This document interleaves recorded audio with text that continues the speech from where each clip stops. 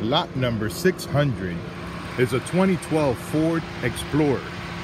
This is a 3.5 liter V6 with 112,000 original miles. The motor sounds good. I've had it running for just about an hour. It idles smooth, it revs up nice. The automatic transmission engages and both front and rear AC blow cold. I'm gonna rev it up so you could hear the motor. The motor sounds good.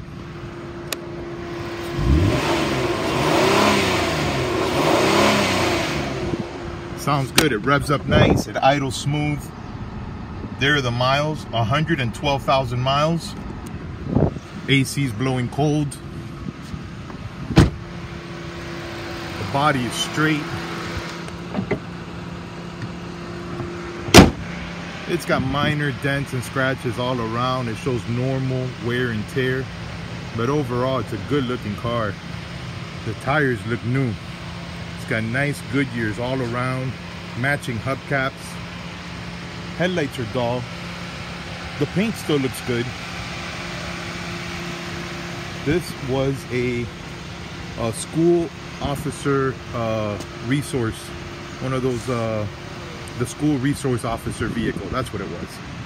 The driver's side door is dented right there. It's got a small dent. It's hard to see on the video, but it's got a small dent right under the handle there.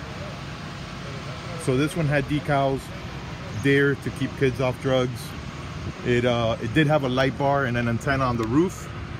They have been removed. So it does have two holes up there that have been covered up. It's a regular Explorer. This is not a police package vehicle. This one actually comes with the nice interior. It's got a third row seat. All the doors open and close as they should. Here's the third row seat. One of them looks like it's stained. It should clean up nice. The headliner looks good. These panels back here have a couple of screw holes from emergency lights that have been removed. And it appears to be missing the cover for the spare tire. Other than that, it looks good. This back door stays up. This panel back here has some screws. It looks like it has some equipment there that was removed. The body looks nice and straight. It's got the roof rack. Show you the interior. All the door panels are in place and they all appear to be in good shape as well. Here's the rear seat, looks good. Passenger door, there's the door panel. And again, these interiors are nicer than the police package vehicles. Now this is a front wheel drive vehicle. Those police ones are all wheel drive. This one is front wheel drive. It's got black carpet. The center console has a couple of screw holes. Again, from emergency equipment that has been removed. And the center console armrest is torn. I'll show you on that side. Now the driver's seat has a, uh, a seat cover on it, but it appears to be in good shape down there. It may be torn.